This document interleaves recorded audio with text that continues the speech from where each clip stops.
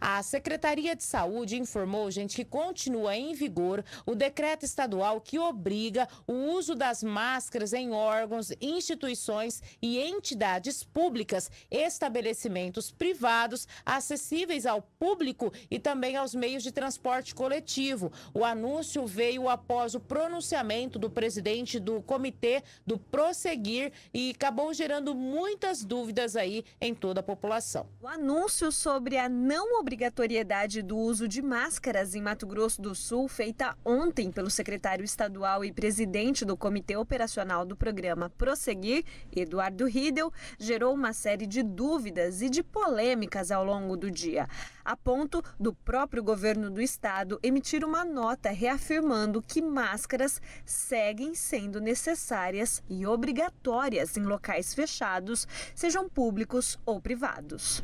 É reafirmar né, a, a, retirada da obrigação de máscaras em, lugar, em lugares eh, sem aglomeração e abertos. Né? Nós já não temos essa necessidade, essa obrigação, está posto no nosso decreto. Então, ambientes abertos não têm a obrigação de máscaras, mas manter nos ambientes de aglomeração e ambientes fechados.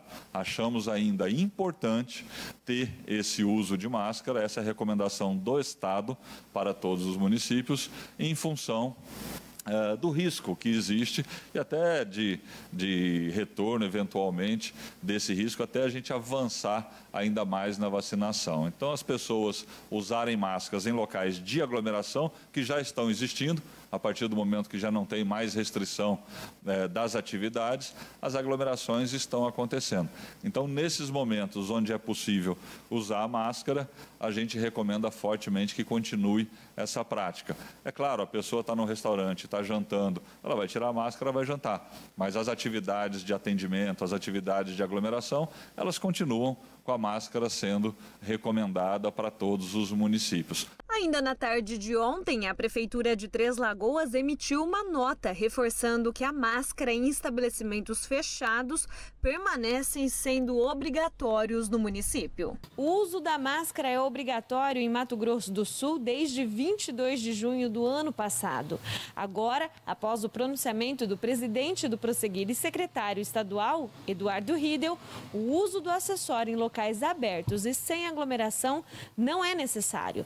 Mas em em ambientes fechados, a máscara continua sendo obrigatória. A decisão é justificada com o avanço da vacinação, que já alcançou mais da metade da população do estado e foi o principal indicador levado em consideração pela equipe técnica do Prosseguir. Nós já temos mais de 94% da população que tomou a primeira dose, né, e com a segunda dose passando de 70% uh, eh, ou com dose única no programa de imunização. Então nós vamos dar sequência a esse trabalho incansável da vacinação, entendendo que ela é a única maneira da gente ter a maior garantia possível em relação ao nosso cidadão. O uso da máscara é obrigatório em shoppings, restaurantes, comércios, academias e demais lugares fechados já há 17 meses no estado. Especialistas em saúde reforçam que o bom senso deve prevalecer em prol do controle da pandemia em todo o estado.